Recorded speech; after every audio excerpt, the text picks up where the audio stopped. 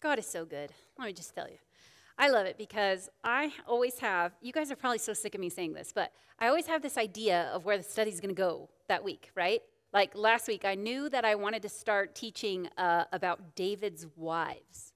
So I'm like, okay, this is going to be awesome. So we're going to start. So I start studying and I'm looking at, you know, this one's life and this one's life and the little bits that are said about this one. And I had this whole, by the end of the week, by Friday of last week, I knew where the study was going. So I'm like, okay, I got this. So then Sunday comes and I go to start typing out my notes, right? And as I'm typing out my notes, they're getting so convoluted.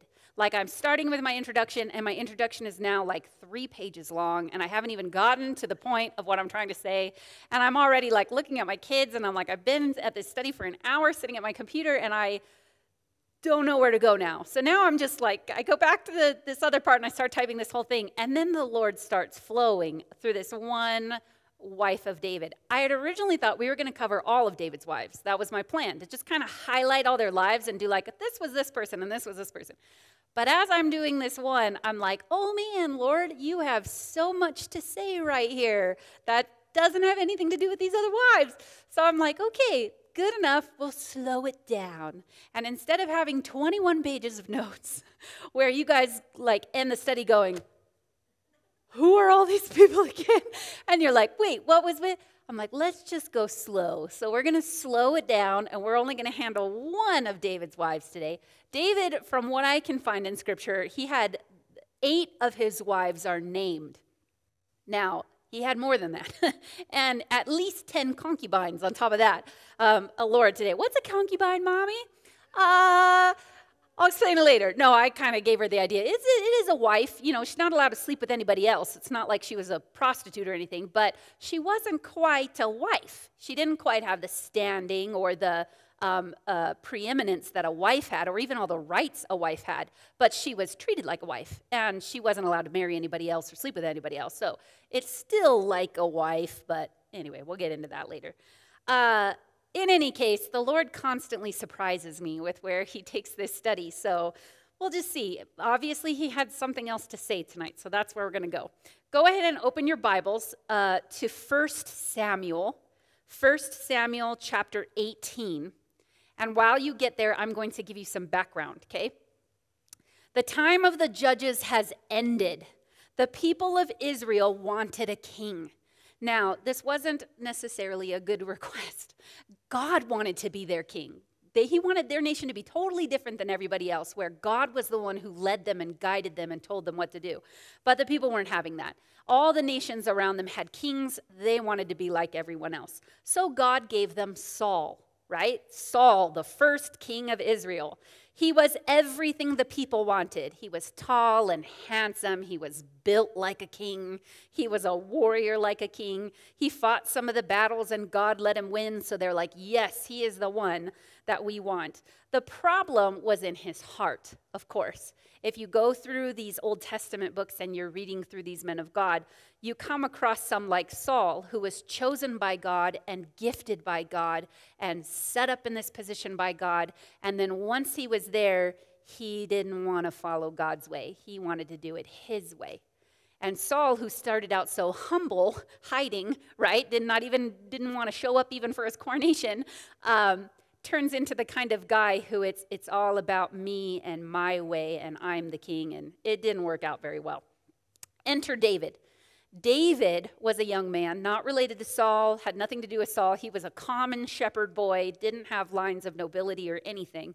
Um, and yet God chose this boy to be king. He was anointed while King Saul was still king. Uh, and so it's an interesting time in Scripture when you get there where Saul is still king, but God has departed from him. And God's no longer blessing him, and his spirit's no longer on him. It's now on this boy David, right? And we see David grow up, and he becomes this you know, the champion. Everyone knows the story of David and Goliath, right? Where God helps him to beat the giant. We even sang about it. Um, but uh, God's spirit is now with David. Now, David, we're going to learn a lot more about him as we talk about his wives, because you can't talk about a wife without noting something about her husband, right? They're connected. so we're going to learn a little more about him too. Um, and most of you know uh, a bit of David's story. He's so disappointing. you want so much from this man who God has just blessed and he loves the Lord. If you ever read any of David's Psalms, he wrote 73 of them. 73 of the 150 were written by David. And he had this poetic heart and this love for God. And yet, holy moly, David was uh, a flawed man, right?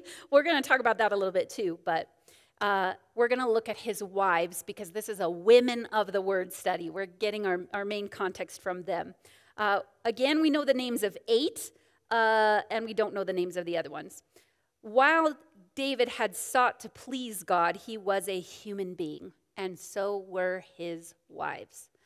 Um, I don't know why we tend to expect perfection from people. We know the saying, right? We know nobody's perfect. Everyone knows that.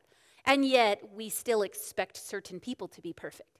You know, when you have a hero or a mentor that you look up to, you expect them to have these standards that truly are unattainable. We're not perfect right? And it's funny when you're connected to that person that someone else sees as perfect and you go, oh, I could tell you, right? I know if, like, you know, there's be like, oh, Andrea teaches Bible study. None of you guys are fooled, right? None of you think I'm perfect because, remember that one time I swore during Bible study? yeah, that's another story for another time.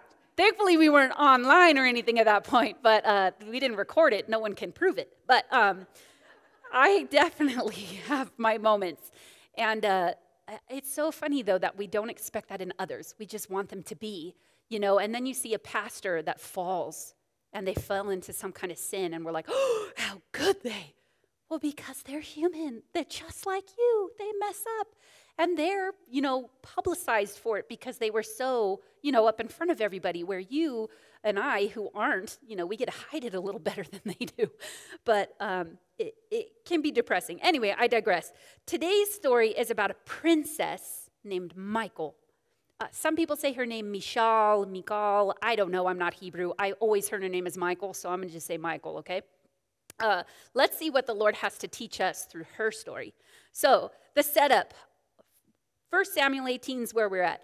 David at this point is probably in his late teens. He's already defeated Goliath. He's already been anointed by God. He knows one day he's supposed to be king, uh, but he's not. Um, he's like best friends with Saul's son Jonathan.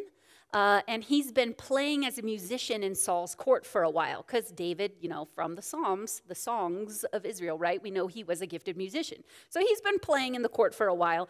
He already knows that uh, Saul doesn't like him very much because a couple of times Saul has realized who David is. He knows David's been chosen. He knows that David's supposed to be the new king, but Saul is not going to give it up to him. He's going to fight and claw his way to try to maintain his power as long as he can. One of those ways is by trying to murder David every once in a while. so it's this weird story, and you're like, why would David stay? And I, I, don't know. I don't know what was going on at the time that he still felt comfortable playing for Saul again, you know, even after Saul threw a spear at him a couple times. But um, he does. Now, the women love David the, the Bible says that he was, he was ruddy and he was handsome, right? I picture him as this, I don't know, ginger warrior.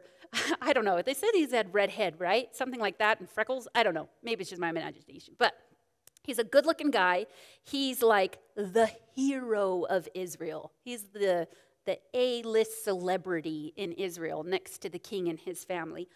Um, and he's also very gracious. You see, when David defeated Goliath, when, when they were waiting for someone to step forward and beat Goliath, Saul had made all these promises.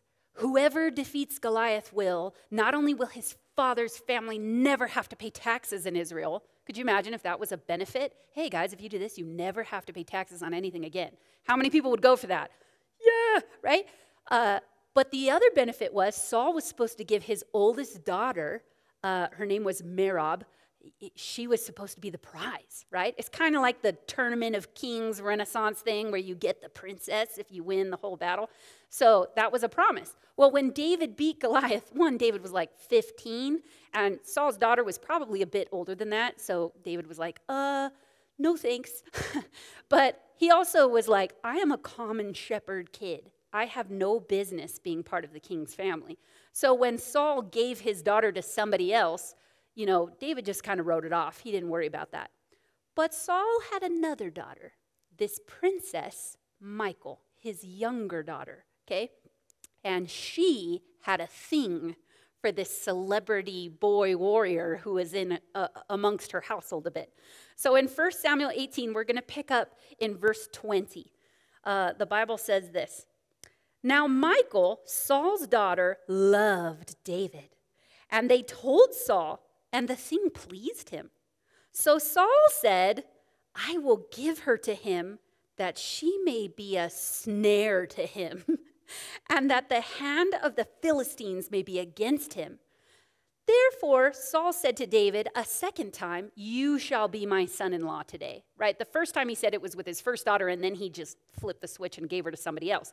But this time he's saying it, All right, you're going to be my son in law with this daughter, Michal. Can you believe that he called his daughter a snare? He's like, She's going to be a trap for him. now, I don't know if he's talking about her personality. I mean, some of us can tell with our daughters growing up, Dang, girl, you to be a trap.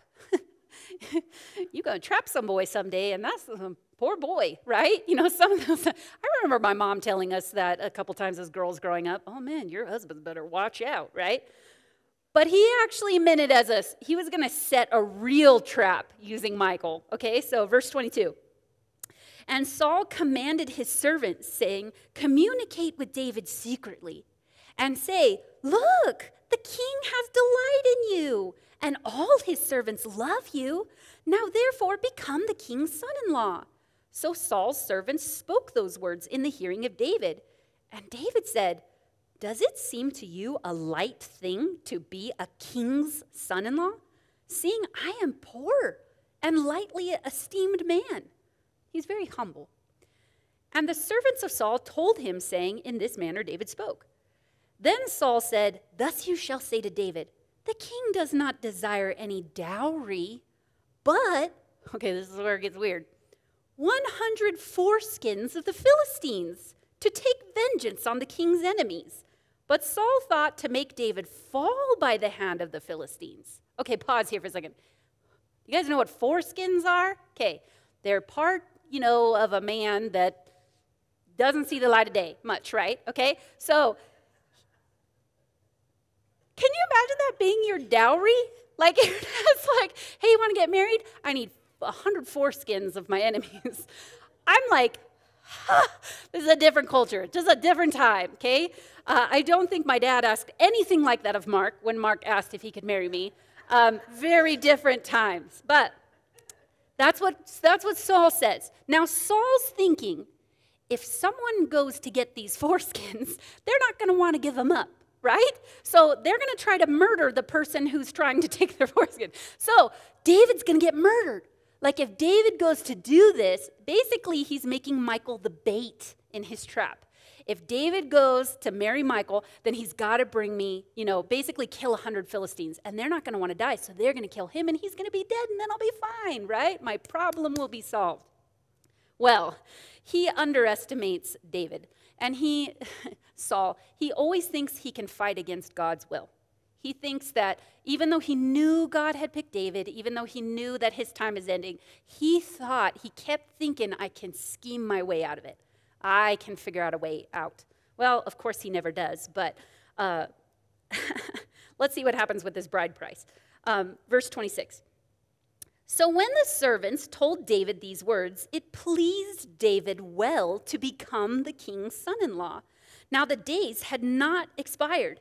Therefore, David arose and went, he and his men, and killed 200 men of the Philistines. And David brought their foreskins, and they gave them in full count to the king. Can you just imagine him counting them? oh, uh, that he might become the king's son in law. Then Saul gave him Michal, his daughter, as a wife. Then, thus Saul saw and knew that the Lord was with David, and that Michal, Saul's daughter, loved him. So Saul, his plans don't work, right? And, and Michal gets to marry David, and David gets to marry Michael. Um, Michal loved David. Michael's father, however, did not. He feared David and he counted him as an enemy. Now, David had made a, we don't know how David felt about Michael personally. We know that he was in favor of this plan to marry her and become the king's son in law. I don't know if it was political. You know, again, David knew that he was supposed to become king eventually. And maybe it's just a supposition, okay? This is me and my imaginations as I'm thinking this through. There's a possibility that maybe David married Michael and that wasn't God's will for him. Maybe David was thinking, if I get in here, this is how I become king. I become linked with the king's family. I've married his princess daughter, and that's how God's going to work. I'll just go do that. We don't see David asking God about this. Lord, should I? Obviously, the Lord was with him and the Lord allowed it to happen.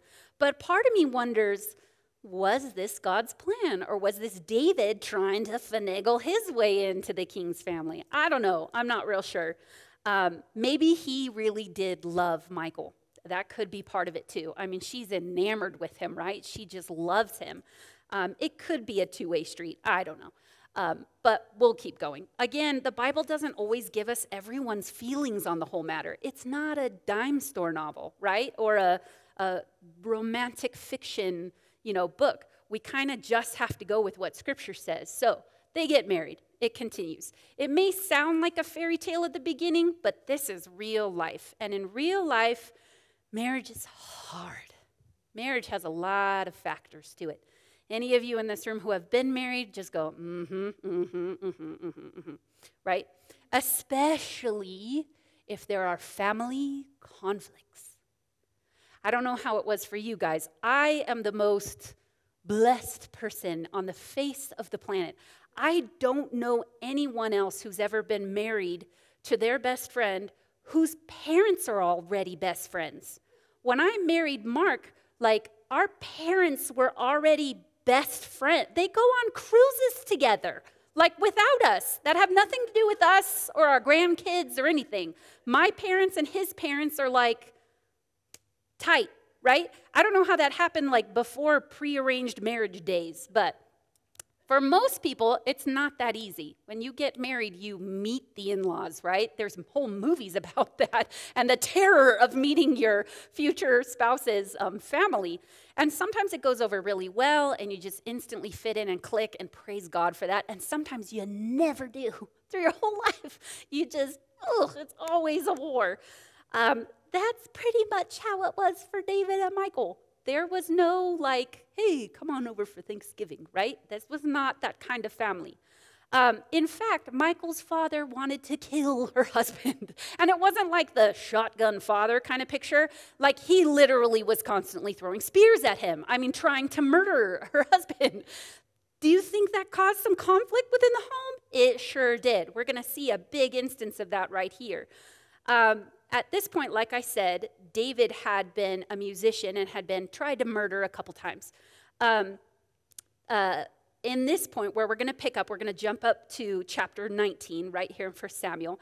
Um, Saul has once again thrown a spear at David, and David runs home. The problem is, Saul knows where they live. okay, so we're going to pick up in 1 Samuel 19, verse 11. It says, Saul also sent messengers to David's house to watch him and to kill him in the morning. And Michael, David's wife, told him, saying, If you do not save your life tonight, tomorrow you will be killed. So Michael let David down through a window, and he went and fled and escaped. And Michael took an image and laid it in the bed, and put a cover of goat's hair for its head, and covered it with clothes. Ferris Bueller, okay? She Ferris Buellered uh, with David right here, okay? So when, it keeps going. So when Saul sent messengers to take David, she said, He's sick. You can't have him. Sorry, he doesn't feel good. He can't come to the kingdom right now. Then Saul sent the messengers back to see David, saying, Bring him up to me in the bed that I may kill him. And when the messengers had come in, there was the image in the bed with a cover of goat's hair for his head. Then Saul said to Michael, Why have you deceived me like this and sent my enemy away so that he has escaped? And Michael answered Saul, He said to me, Let me go. Why should I kill you? So David fled and escaped and went to Samuel at Ramah and told him all that Saul had done to him. And he and Samuel went and stayed at Naioth. This is a very interesting story, right? We see Michael basically save David's life. She lets him out the window and then covers it up for him, right? Uh, but there's some problems in this story. There's some things I want to point out that the Lord was really just showing me as I was studying through this.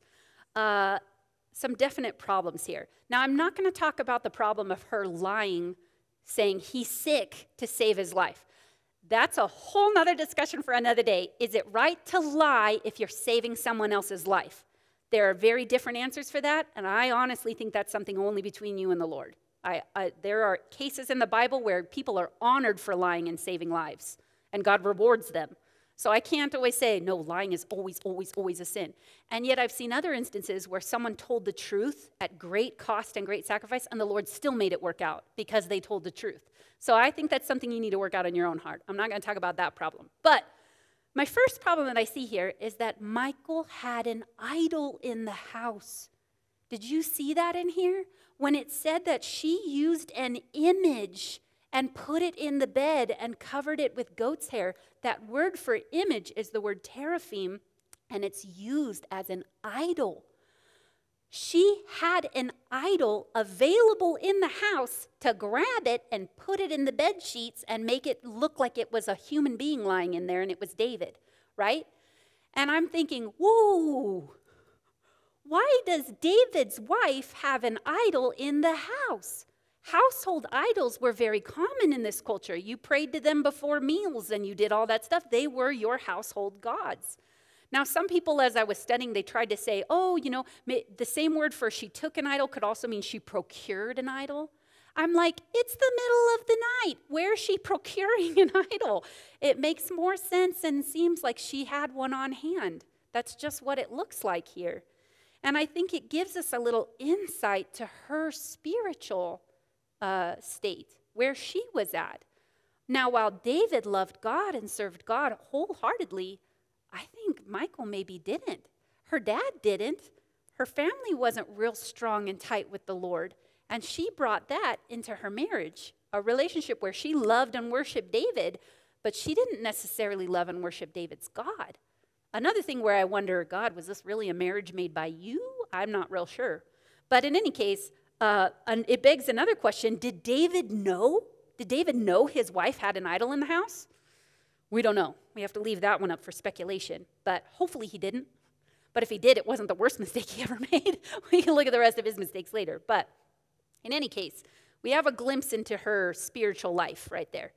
My second problem not that she lies to protect David, but the second lie she told when her father says, Why did you let David go? He was my enemy. We could have taken care of this. And she said, Oh, he made me do it. right? She makes it sound to her father as if David threatened her life unless she helped him. She lies again, this time not to protect someone else, but to protect herself. I can't ever find an instance in the Bible where lying to protect yourself is ever okay. Lying to protect another, that may be different, but lying to get yourself out of it, I don't think so. She made Saul think worse of David. Granted, her father was crazy. He was. He was insane by this point. He'd actually even already tried to kill her brother in one instance. Uh, but she seems to be acting purely out of self preservation and at David's expense. She puts her husband down to lift herself. Have you ever done that? Have you ever been in a group setting where someone's questioning maybe a decision your husband made or something and you throw him under the bus? oh, well, he, he just, silly man, he just doesn't know what he's talking about. I have. I remember recently I had to come up to some of my friends and apologize later to say, oh, earlier when I was saying this about my husband, that was not very gracious of me. I made it sound like he was just a fuddy duddy, whatever, and didn't want to be involved in something. That was not a very good way for me to present him and make myself look better in the process. And it's not just with husbands. When you do it with someone else and you say something to put them down to make yourself look better, you know, it may have saved Michael from her father's wrath for a moment. But truly, all it really did, she allowed a little crack in her relationship with her husband. She, when you allow that, you allow a split. You're, you're splitting your loyalties between who you're lying to and who you're lying about. And that split, sometimes it's, you know, you say you're sorry and you ask for forgiveness, you, you can repair them. But sometimes splits, man, we all know where they can lead. We're going to talk about another split in just a minute. So being really careful never to put ourselves up for the sake of putting someone else down. Um, I put on here, wives, what are you allowing others to believe about your man? And are you slandering in front of him in front of others to make you feel better about yourself? Don't do this. All right, it's a crack. So speaking of cracks, here's my biggest problem with this story. Why didn't Michael go with David? She let him out the window and she let him run away. She should have gone with him instead of staying home. And I think, oh no, she had to stay back because she had to tell the guards so that he had time to run away. No, because later in this chapter, if you keep reading through chapter 19, Saul goes straight after David and God totally miraculously delivers him. God didn't need Michael to lie for him. God would have saved David. And I think I know if she would have gone with him, God would have saved both of them miraculously, the way he saved him anyway, right? Was it because, now this is speculation, the Bible doesn't say, so I'm asking myself questions, right? Why didn't she go? Was it because she was too much of a princess, used to the life in the palace? You know, worried about uh, the roughness of the outside, right? I don't know if any of you guys have rough husbands who like to go out in the wilderness and live and whatever, and you go, Have such a good time, honey. I will stay here and have a cup of tea and turn on my Netflix, and you just enjoy, right? Uh, I am so grateful my husband's not a hunter. Even if he was, great. I would be one of those stay home wives. I am not we started camping. Okay, I love camping. Camping is so much fun. We did a lot of camping when I was a kid. Now, the camping I did when I was a kid is totally different than the camping he did when he was a kid. I am from San Diego. So, camping meant you took your, we had a tent, and that was okay, and then we had a tent trailer, but you took it to a reservation campground place that had showers and potties and a beach and you know what I mean? Shops. I mean, it was like a cheap hotel. Like you maybe yeah you brought your own sleeping bag, but like you had you know, you know pavement and people and one time we when Mark and I were first married, we went beach camping with my family, and he was like, what is this? I mean, there was a train that like went through the campground too. And he's like, every 10 minutes was like, oh, I'm like, it's just a train. And he's like, why is a train? We're supposed to be camping. And I'm like, what do you think camping is? So then I went camping with him one time in Moab. It was free camping. I'm like, I didn't know there was such a thing as free camping. He's like, no, there's such a thing as. He's like, how do you not know there's free camping? I'm like, we didn't free camp, okay? It was cheap camping, but it was like you paid something because there was a pool. And he's like, oh no, there's a river. I'm like, okay, that sounds nice. So we go, and it's like, no, it's a tent. And you're like, mm hmm. Of course, I had a stomach ache that night because I get stomach aches all the time. So we spent half the night at the Denny's back in town because I'm like, I can't go back there. There's no, like nowhere to do anything. So eventually, finally, like last year, we bought our own. We didn't camp forever when we had babies because I'm like, I'm not taking my babies out camping. That's just, they're going to fall in a fire pit or, you know, a cactus patch. Like, let's just wait until they're old enough to, like, live. So then we got a tent trailer. But I told them the one thing I'll go with you anywhere, honey. I will follow you anywhere. But there has to be a bathroom. There has to be a bathroom. So we bought a tent trailer that has this cute little porta potty. It's great. Now we can camp anywhere. And I'm like, okay. But do you see what I'm saying? Some, some men just like to rough it. And I don't know if Michael said, uh-huh, I'm not a rough it kind of girl. So you run off and I'll wait here at the palace. I don't know. Maybe that was her thinking. The problem is with that is if that was her case, she chose her own comforts over her husband. That's not a good thing. Ladies, I don't know what it is that your husband does that you go, for my mom, it's bowling, right? My dad is a bowler. And my mom's like, Do I have to go to bowling again? I don't like bowling. I don't want to bowl. But let me tell you, for what? Six years, my mom's been on his bowling team because my mom's like, all right, I'll be your woman on your bowling team. Today, this, or this year, she's finally gets to just go watch him bowl. But I love that. I always told my mom, Mom, you're such an example of going and doing that thing your husband loves to do. And I think, man, if only Michal would have gone with him and not chosen her own comfort over his. Now, might be your husband's like, please don't go with me hunting. your perfume alone will make sure that we never catch anything. I don't know. Or you're so loud, please let us have his time. I'm not saying you have to follow him everywhere he goes, but I'm saying if he ever asks you, hey, do you want to go with me somewhere? You know what your answer should be? Yes. I would love to. Just give me a potty, okay? All right, you can have conditions. Just be willing to go, okay? Be willing to give up your comfort for your husband. And I'll tell you what, that'll speak volumes to him. He'll let you get away with a lot. He really will. If you just, honey, can I just have, oh, yeah, for sure. You know, I'll make sure it's all right. He does. My dad bought my mom a bowling ball and bowling shoes and a bowling bag. And my mom's got more bowling paraphernalia she ever thought she wanted. But dad tricked her out. Now he's trying to get her to golf with him. We'll see if that ever happens. But she's like, I'll drive the cart. Just don't make me golf. Right? Um, choosing your husband, right?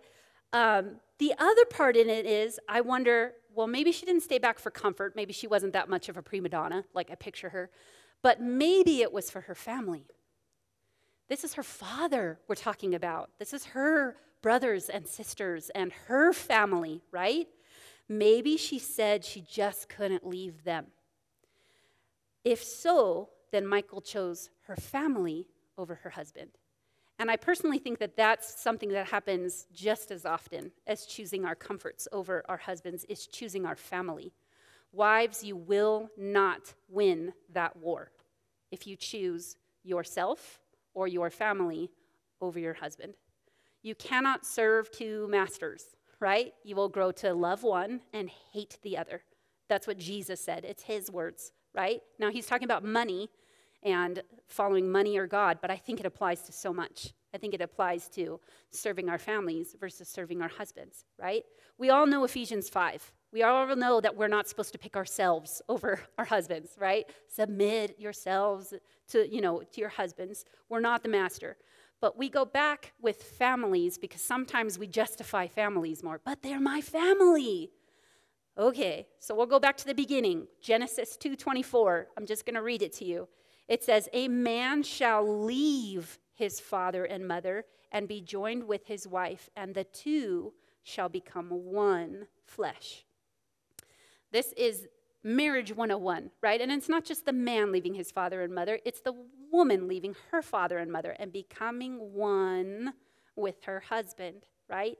Be joined. The King James Version says, cleave unto, right? You cleave unto your, your wife or your husband. It means being united, holding fast, clinging together. Uh, two people, no one else is involved. It's just you two against the world, right? He's your number one top priority, supreme concern, numero uno. Not your parents, not your friends, not your siblings, not even your children. Nothing is supposed to come between you two.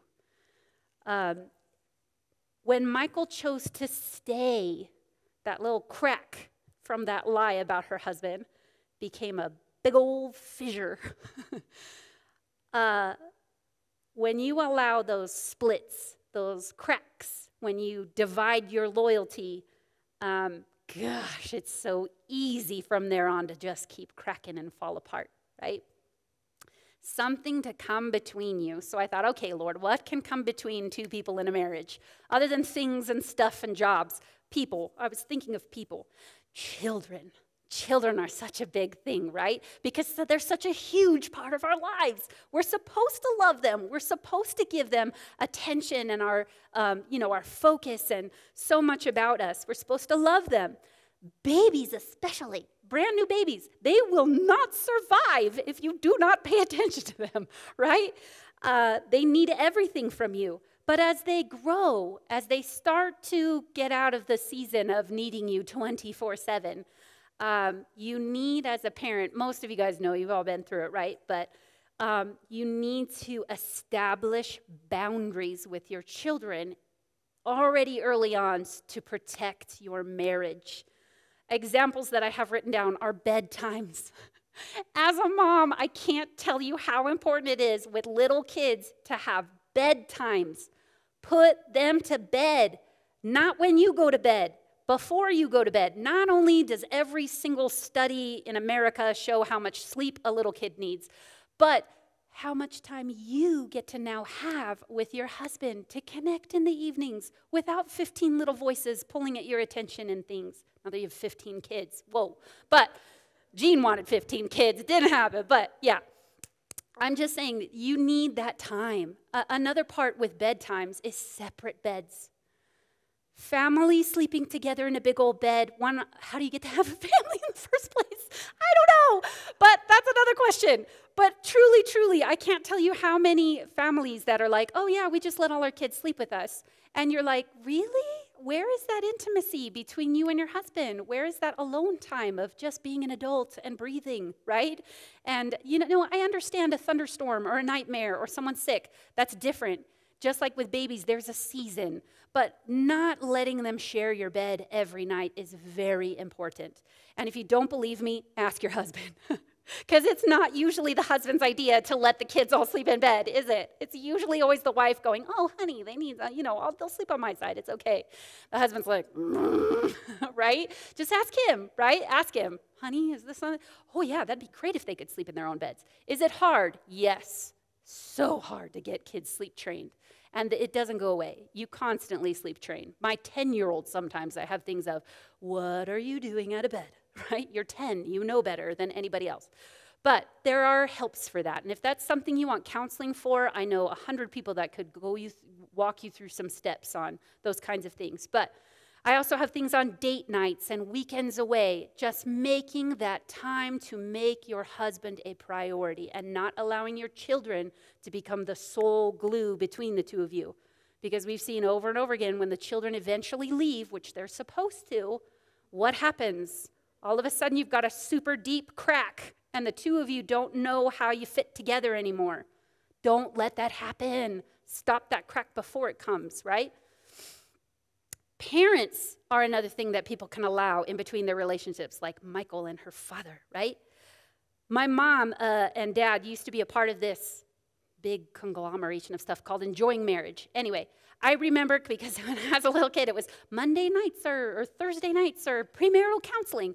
And so the three of us little girls got to go upstairs and watch whatever we wanted to on TV. Usually it was Full House, the original, right? Because John Stamos was so cute.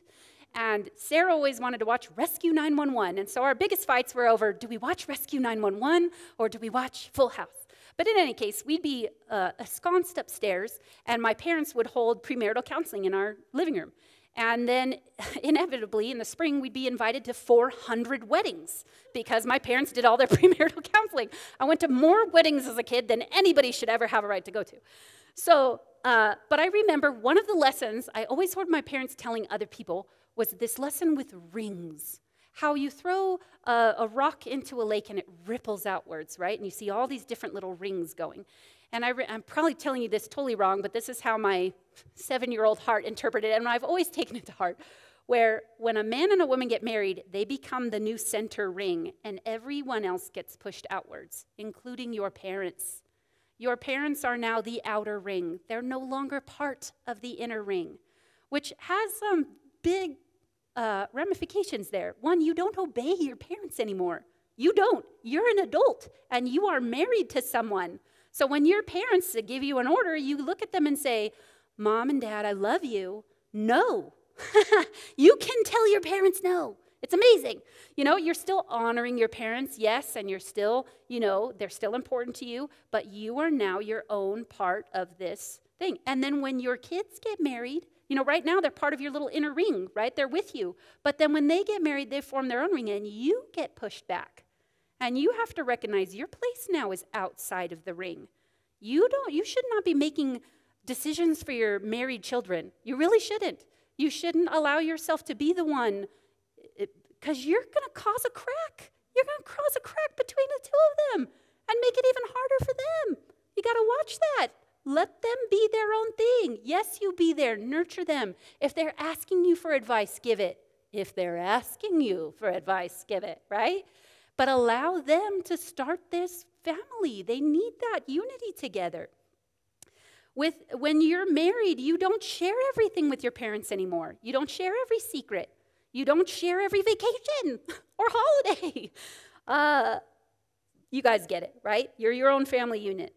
You also don't let friends or siblings into that marriage that you and your husband have. You don't allow them to take priority.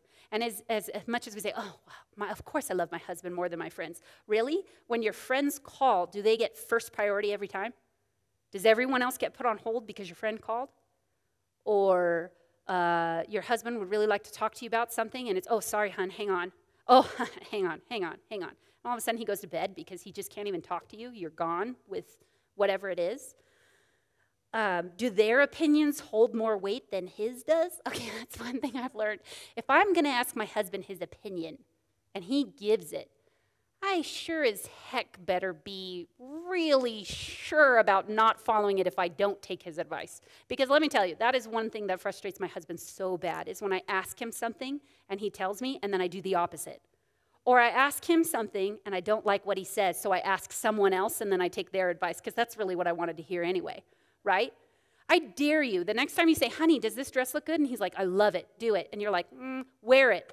Shut your mouth, wear the dress. Who cares if it's ugly? None of your friends will matter, right? And then that your, your husband will just be walking tall because you wore the dress he picked, right? Or you cut the way, your hair the way he wanted it done. You honor your husband in those little things instead of your friends or your siblings or whoever it is, social media, right? None of them care about you like he does. Follow his opinions, right? Establishing boundaries, leaving and cleaving, precious wives.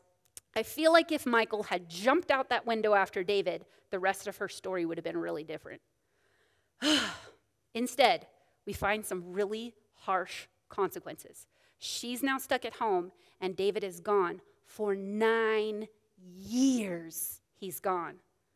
Now, I don't think she had any idea that he'd be gone that long. I think she thought, like before, her dad would calm down, he'd cool off, and then David would come back. That's what had happened before. But this was it. This was a straw that broke the camel's back. David is gone now, gone. And what does her father do? Now, one, he's nuts, okay? Saul's crazy, but he also knows his daughter, he feels betrayed by her. Even though she stayed, he feels betrayed by her. And we find in 1 Samuel 25, I'm just going to read you one verse there. It's 1 Samuel 25, verse 44, the very last verse there. It says, But Saul had given Michal his daughter David's wife to another man, to Palti, the son of Laish, who was from Galim. She was given by her dad to another man to go be his wife. I just don't even know how to respond to that.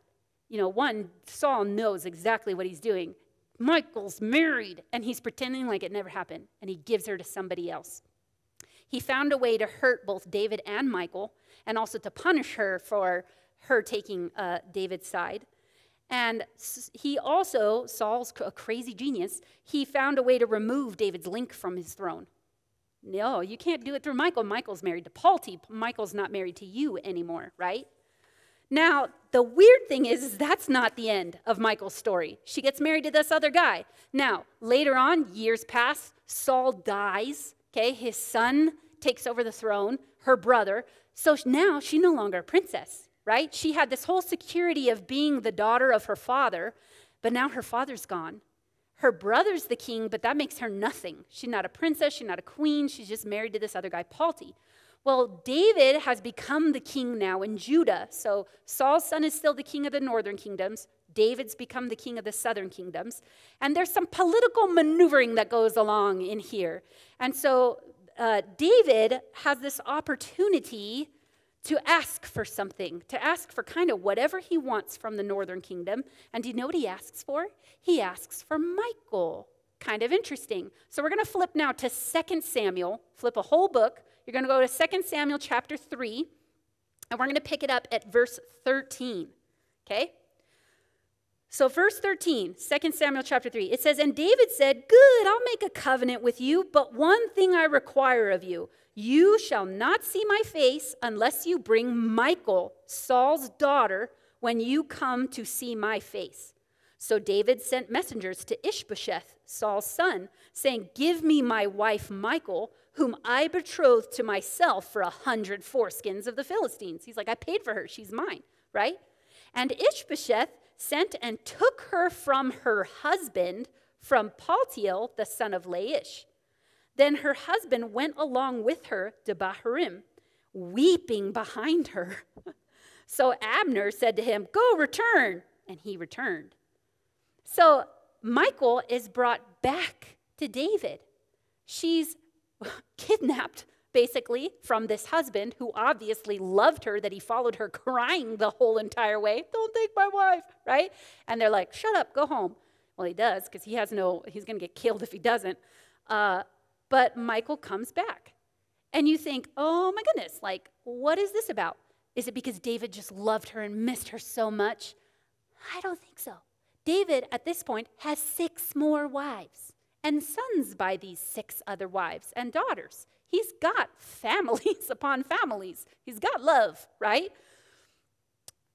We don't know why. We don't know if it was, again, political maneuvering, again, giving him a way to access Saul's family. Or maybe he really did love her. We don't know Michal's feelings. We don't know if she was sad to leave this weeping husband that she's been with for a very long time, or if now she's like, all right, well, I was a princess and then I was nothing, and now I get to be a queen. I'm David's first wife. That means I get to come into this home and I'm pre I'm the main queen. I'm the queen bee, right? Okay, I'll go. I don't know. If she's that prima donna I picture, I picture her happy with this move, but I don't know. I really don't know. But something has changed. Michal and David have changed. They've grown up apart, not together, and they're different people now. And Michal comes to realize that she no longer has the feelings for her husband that she did when they first got married. Flip over to chapter 6, 2 Samuel 6, verse 16. We pick up here. Uh, David is now the king of everywhere. He's the king of all of Israel, okay? And he's bringing the Ark of the Covenant back home to Jerusalem. It's a big celebration. They've been feasting and celebrating and sacrificing, and it's been amazing. This is like a highlight of David's kingship. Um, finally, just getting all this stuff that God promised him. Um, in verse 16, it says, Now as the ark of the Lord came into the city of David, Michal, Saul's daughter, looked through a window and saw King David leaping and whirling before the Lord, and she despised him in her heart.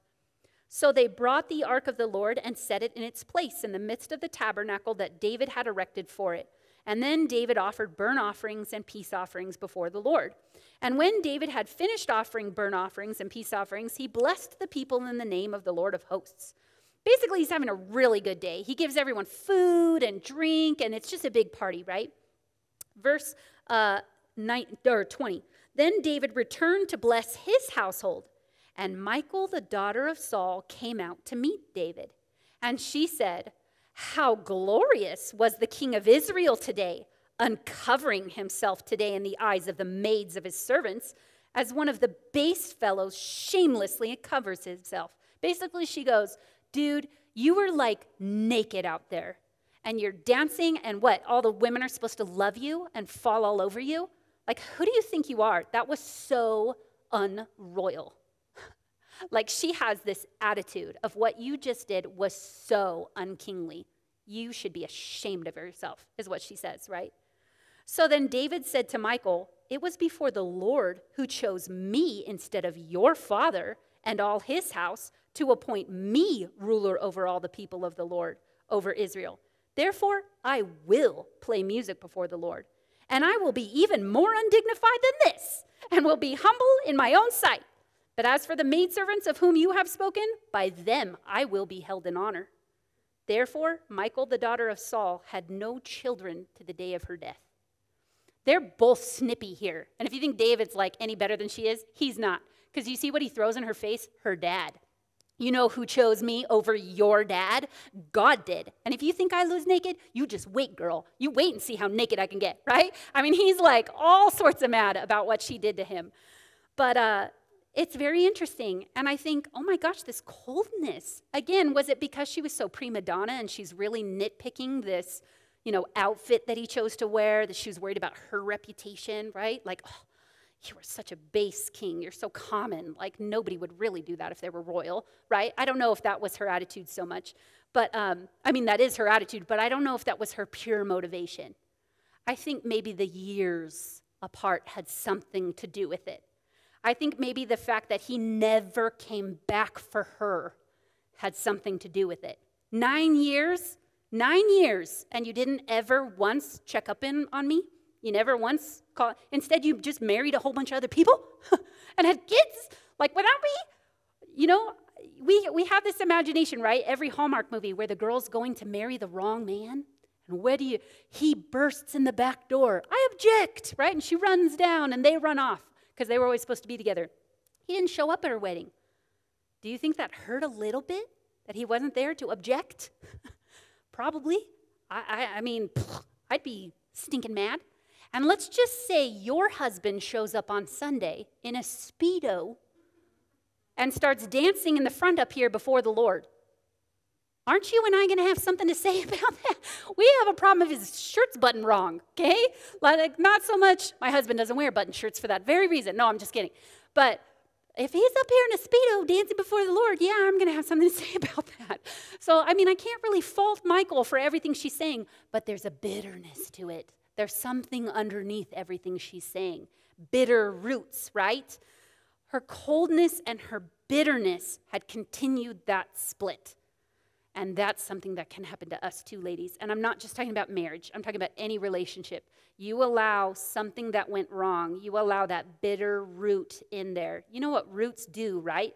Have you ever been walking down one of our Montrose sidewalks? you hit a gap that's like three feet if anything, walk down South 7th Street, okay? Walk South 7th Street sidewalk right by Townsend. There's this one gap whenever my kids and I walk down there. I'm serious, it's like two feet. It's like the sidewalk just jumps. Why? Because there was a big old cottonwood tree on the other side of that, and those roots came in and they pushed that concrete up.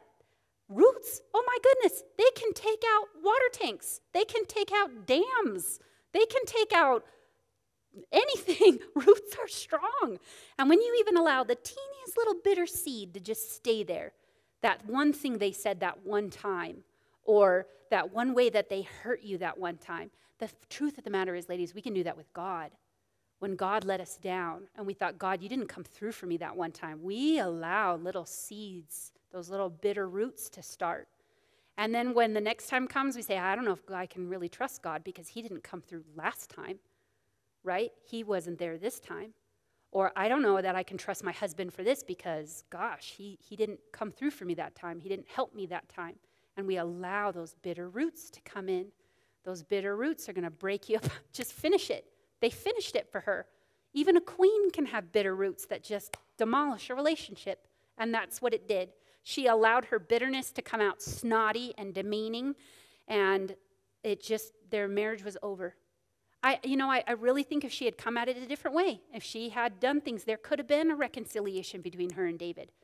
Um, but there wasn't because they allowed the rest to just break the rest open, those bitter roots, right? Bitterness has consequences, and her consequences was she had no children to the day of her death. And I don't know, she had already been barren, right? She hadn't had kids with David already, and she hadn't had kids with Paltiel already. Uh, so maybe she was already barren, and maybe at this point David said, I got other wives, I don't need you. I'm never going to call you to my chamber. We're, we're done.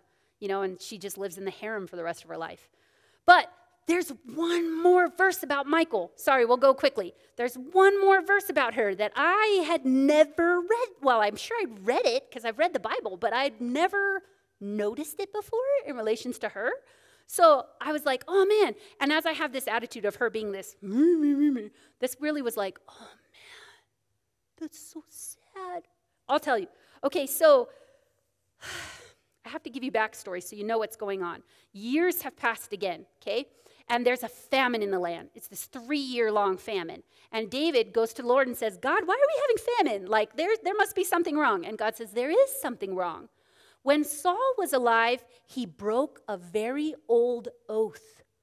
There was an oath between the Israelites and these people called the Gibeonites. And the oath was made by Joshua, so like hundreds of years before, saying, We won't kill you. You guys will be our allies. You know, you can even be our slaves. We won't kill you. That was the oath. Well, Saul, in his zeal for being godly, started murdering all the Gibeonites when he was alive. He killed tons of them. And now God is allowing this to come out, this famine, to say something's wrong in Israel. This oath, because God takes oaths very seriously, he said this oath was broken and it needs to be fixed. So David goes before the Gibeonites and says, Hey, uh, I know Saul did this stuff. We need to make amends because God's basically punishing us. We need to like fix this. And so they say, Okay, we don't want your gold. We don't want your, you know, we don't want to go to war. But what we do want is we want some of Saul's descendants. Uh, and in the passage, it says Saul and his bloodthirsty house killed the Gibeonites. So it wasn't just Saul himself, members of his household were part of it too. So they said, We want members of his household. We want seven of Saul's descendants, and we're going to put them to death. An eye for an eye. This is how we do justice, and this is how God does justice. So, uh, you know, give us seven of Saul's descendants, and we'll hang them, and then we'll be clean. Like blood will atone, right? Because that's blood had to be paid. So David says, Okay, I'll give you seven of Saul's descendants. And I'm like, huh. So here's where it is. It's in, hold on two seconds. It's in all the way over in chapter 21. So you can see how much time is passing. We're in 2 Samuel chapter 21, where David avenges the Gibeonites. And we're going to jump down to verse 7. It says, But the king spared Mephibosheth. Now, this is one of Saul's descendants. David had already made an oath to him, saying, uh, You're going to be safe. I'm going to take care of you. You won't die. And so David had made his own oath there, so he can't break that oath. So he only has seven other people left as an option, right? So it says in verse 8 So the king took Armoni and Mephibosheth, who were two sons of Rizpah, who she bore to Saul, so two of Saul's sons and the five sons of Michal, the daughter of Saul, whom she brought up for Adriel, the son of Barzillai, the Meholathite. Adriel was married to her sister Merab. Remember that oldest daughter of Saul that was supposed to be given to David? She was given to this guy named Adriel, and she had five sons. Well, she apparently died, and so did her husband, leaving these five sons orphans. So, you know who adopted them and brought them up? Michal did. Michal.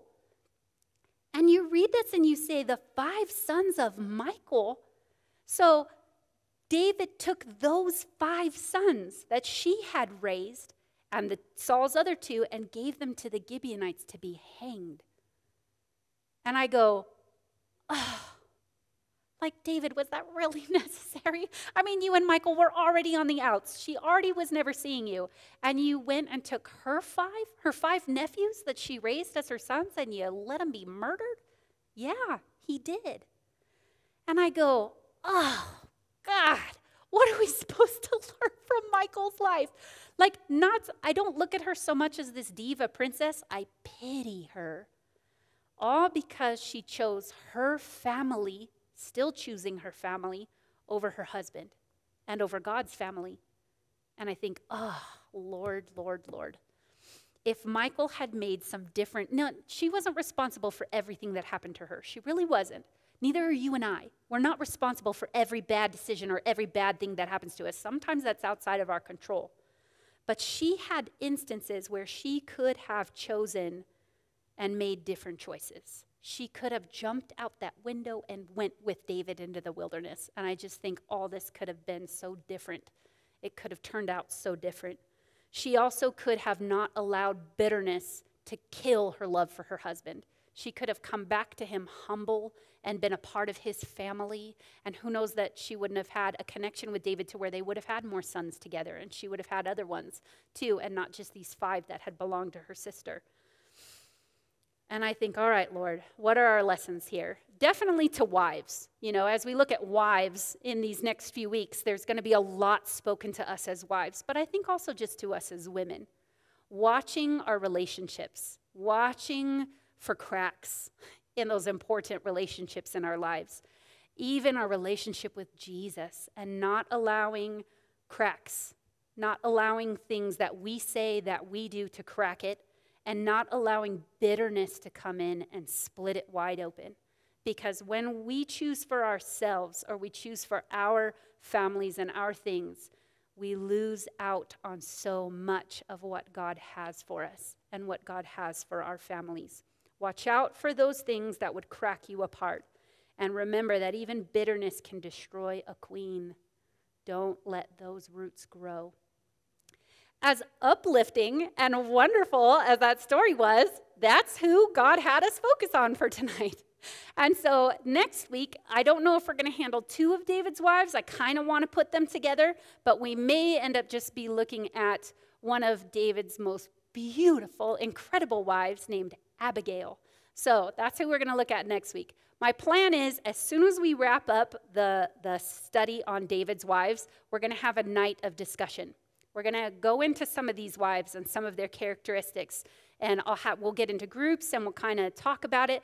That way, you guys can even share maybe even stories of your own where you saw these kind of truths play out, or maybe even consider sharing an area where you found bitterness in your heart and you had to have the Lord take his little trowel and dig it out of there so that you could seal up those cracks. Um, so that's my plan at the moment. I don't know exactly when the discussion night will be. It'll be again after we finish this little section of David's wives. So let's go ahead and pray and we'll close.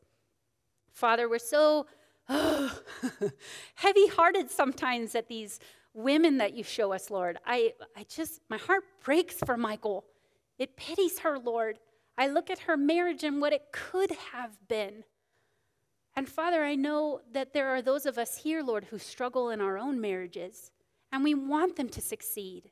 And we want them to be beautiful, Lord. And sometimes they're just not. Father, would you help us to find our parts? Not the parts that our husbands are responsible for. Would you speak to them about that? But Lord, to us, would you help us to find areas where maybe we're not supporting? Maybe we're choosing someone else over them, or even choosing someone over you, Lord. Would you root out those parts of us? Um, help us, Father, to be to be women who are proud to be called by your name. Women who will cleave to their husbands, Lord, and show this world what marriage is supposed to look like. Father, for any of the Michals who are out there, Lord, who are already broken and bitter and maybe have lost everything, Lord, would you show them that their road hasn't ended yet? That you still have the power to pick those pieces up together and put them into a new form, Lord, into a new way? God, you are so mighty and powerful.